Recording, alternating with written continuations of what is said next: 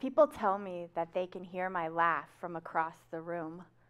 As I've gotten older, it's gotten louder.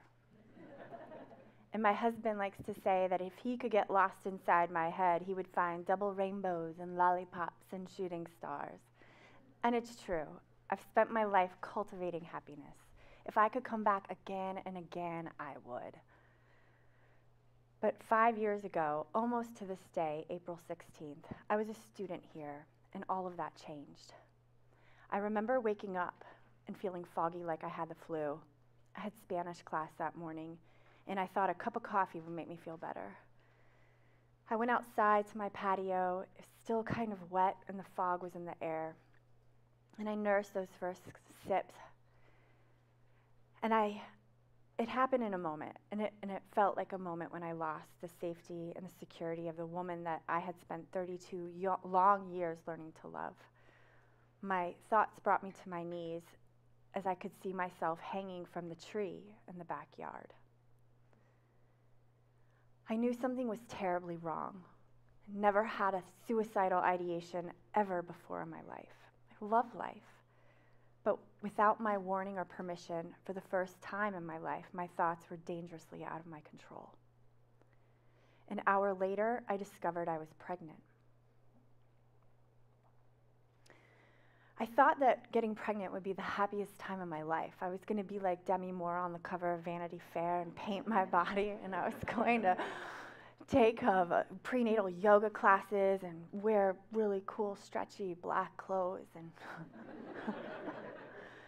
But for me, with the collision of this egg to this sperm, my body reacted so different. It was like my brain was getting short circuited. And I just knew that I went to bed one way, and eight hours later, I woke up completely different. Within a couple of days, my thoughts about taking my own life turned into thoughts of harming other people's lives. It would come in a flash, in impulses and ideas that wouldn't stop. They came every second, every second of the day. It was thoughts like, what if I take my foot off the accelerator when somebody, or the brake when somebody's walking in front of my car? What if I drop a match in the forest? What if I pour bleach in my husband's drink? What if I go to bed tonight and I don't know and I wake up and I kill him and then I'm caught I could see these horrible things. I could see the police coming. I could see them asking what happened, and I would be sitting with body parts all over me, thinking, I don't know. I could see my cell. I could see my orange jumpsuit. I could see the newspaper articles. She seemed like such a normal girl. I wanted a straitjacket. I begged to be hospitalized. Anything to make sure I didn't go through with any of my thoughts. I learned later that this was called, these were called intrusive thoughts. It's a form of OCD and, and it lives on the spectrum of a postpartum mood disorder. The problem with that name is that it makes you think that it's after the baby's born. This was right when I conceived my baby. My OCD turned into a severe depression, and I lost my joy for living within a couple of days. I thought I was going to kill myself. I couldn't be left alone. This once happy woman who had been in the Peace Corps twice and AmeriCorps volunteer once, who drove cross country four different times, twice by myself, couldn't even leave the house by myself, couldn't drive by myself. I dropped out of my classes. My parents had to come and help take care of me with my husband. I couldn't be left alone. I was like a child. The one thing that I did do, which a lot of women don't do, was I didn't suffer in silence. I asked for help. I asked for a lot of help. This, I asked all these people for help doctors, OBs, therapists, doctors, psychiatrists, specialists, uh, more therapists. I went to a holy lama for a blessing. I went to a priest. I went to an energy healer, an acupuncturist. It took 29 different people before I got the help that I needed when I was six months pregnant. I know I'm alive today because of all the people that came to my rescue who wouldn't let me be alone. At that first OB appointment at the top, I was seven weeks pregnant because they do it in lunar months, so I was really only pregnant for two weeks. And the woman asked me how I was feeling, and I told her that I didn't feel like myself. I said that I feel really sad. And without a pause, she said, You should be happy. You're having a baby. Up till the 80s, it was believed that women were immune from depression or a mood disorder when they were pregnant because of all the feel good hormones. But what about if they don't mesh well in your own body? It seemed like every doctor I talked to, or psychiatrist, or therapist didn't have a clue what was happening to me. I was told that I had ADD, which I don't. I was told that I was having a hard time becoming a mother, which, sure, I knew I needed to be on for my upcoming, my son that was coming out of me, but I was going crazy. I knew I wanted to die. That was the plan. I would have my baby and then I would end my life. I knew it was a horrible thing to leave for him, but it was so painful just to breathe and to live.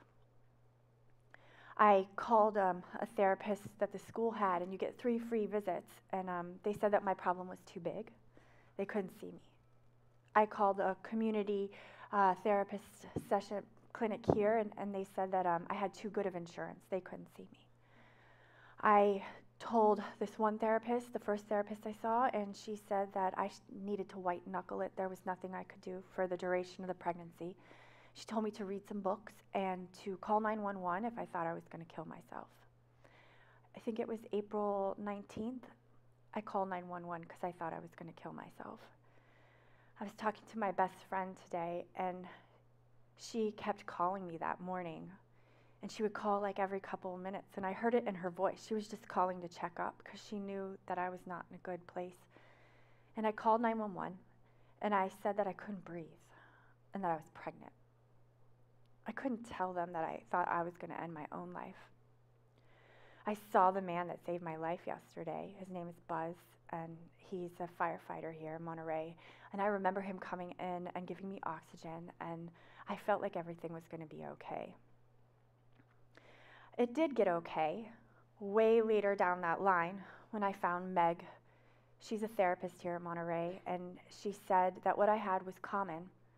It's the leading complication of pregnancy, which is a mood disorder, which OCD lives on, in depression and anxiety and psychosis.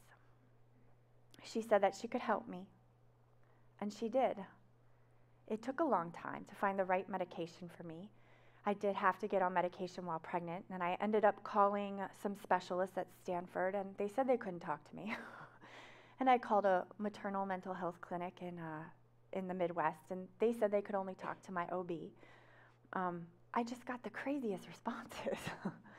I knew that I was suffering, and I, I couldn't help but think maybe the women that we hear about on television who toss babies off of roofs and who drive into the river with their children in the car or who jump from buildings, if they were just like me and had asked for help 29 times and were ushered out of doctors' offices. So, fast forward four and a half years later, my son, and I have another son, and he was 10 months old yesterday. And for the birth of my second son, Dylan, I didn't have anything. I, I knew what I was looking for, and I had safety plans, and we were watching for it, and I was on a low dose of medication to prevent it, and everything turned out great. And it should be the end of the story, and I wish it was. I wish I could leave it alone, but I can't because I was normal one day, and then I w- was different. And then I asked for help, then I asked for help, and I did it again and again and again. And it just took too long, and I, I don't know why I can't shake it, but I can't. So a couple months ago, I found another mom. Her name's Jennifer. She had what I had intrusive thoughts. Hers was about knives. It came in her third trimester. No doctor ever told her it was possible. She kept it a secret for six months. Finally came out when her baby was three months old and got help right away. She's a hero. She started support groups for other moms in her community and is starting support groups for moms in other communities. I mean, this woman's fantastic. And I asked her, I said, Do you want to make a documentary with me about this? And just like that first doctor, without a moment of hesitation or pause, she said yes. So that's what we're doing.